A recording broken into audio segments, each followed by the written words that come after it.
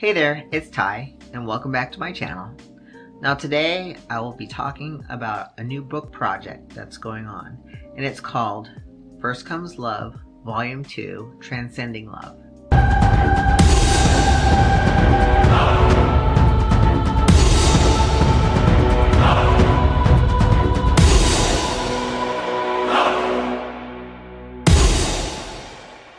So I'd like to introduce you to Barbara Proud. Now she's a commercial photographer and she's been doing this for about 20 years now, but now she's using her talent to bring awareness to social injustices around the world.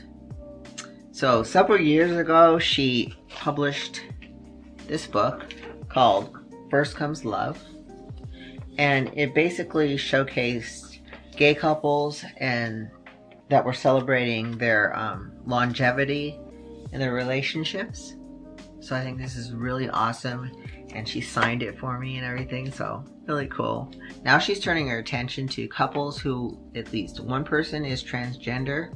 So this would be established couples who have been in relationship for quite some time and she would like to um, photograph you and interview you. So if you're willing to do that, then head on over to her website at firstcomeslove.org and there you'll find her email address and just email a photo of you and your significant other and just a small biography about yourselves. I don't know how else to say that.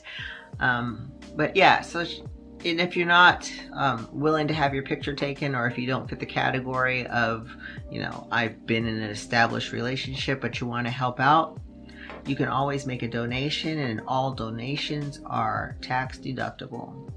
And if you have somewhere where you like her to do a speaking engagement she's always willing to do that. So just give her a contact. All right so yeah spent the day with her had a great time very warm very welcoming. And uh, yeah, let's make Barbara proud.